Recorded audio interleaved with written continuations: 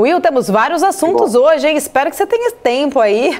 São várias questões. Eu quero falar, claro, de economia, entrar sobre essas questões aí em relação ao payroll americano e falar um pouco mais sobre este cenário todo. Mas não tem como não falar sobre este assunto. Até estava a Débora trazendo aqui agora há pouco no nosso telão, né? A gente fazer essa pergunta especificamente aí, a compra de 35% da Avenue pelo Itaú. Imagino que você deve estar num período aí de silêncio, mas eu sei que alguma coisinha dá para a gente repercutir sobre isso. Queria entender, né, como que isso pode aí acabar ajudando é, nos investimentos, nos próximos investimentos da corretora, expectativas para essa nova fase, sinergias. Dá para adiantar alguma coisa?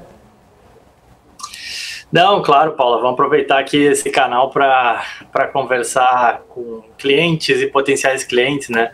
A gente está muito feliz, né? Eu acho que é um dia especial aqui para a Avenue. Passa um filme, né? Até postei agora no Instagram e LinkedIn. É, quatro anos atrás eu me juntava a esse projeto que consistia basicamente num monte de de rascunho, impressão mesmo na parede de como seria o, o app da Avenue e vários uhum. rabiscos, né, numa salinha aí na Faria Lima, 30 metros quadrados ali, que o Roberto Lee, o CEO e, e fundador e quem teve essa ideia, ele bolava, né, a gente não sabia nem direito se ia parar de pé legalmente, juridicamente, tinha que aprovação de Banco Central para fazer câmbio, é, a empresa nos Estados Unidos, empresa no Brasil para coletar uh, os recursos e enviar para fora, enfim, muita coisa aconteceu, né? E aí, quatro anos depois, a gente ganha essa, eu diria uma chancela, né, de qualidade e confiança. É, o Itaú é, o maior, é a maior instituição financeira da América Latina, um, tem alguns trilhões de reais sob custódia, uh, uma marca super conhecida, que eu acho que é um, um histórico inequívoco, né, de geração de valor para os seus clientes, enfim, é, é um banco muito presente na vida de todos.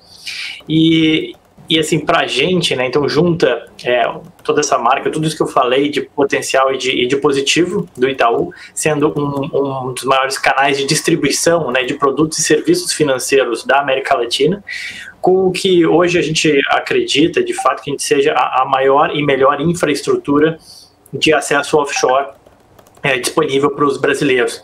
É, então, assim, é o, é o, Brasil ficando mais global e a nossa missão, ela, ela continua. Eu diria que é só um caminho, uma vertente de crescimento muito grande para a gente, né? Ou seja, acessar agora esse canal de distribuição, valida a categoria, né? todo aquela, aquele receio de que a categoria de investimentos internacionais ela é ainda muito pequena, muito incipiente, é, as legislações estão sendo criadas, o, os roteiros de como, como que você navega nesse mercado internacional sendo brasileiro ainda está sendo criado, ainda está sendo feito. E agora acho que valida a categoria. Né? A partir daí agora, acho que o segundo momento vai ser um segundo um momento de, de bastante competição. E agora a gente tem um canal de distribuição para para a gente conseguir desovar né, toda essa nossa infraestrutura e sendo mai, maiores e mais completos em, em operações offshore, agora para todos os brasileiros.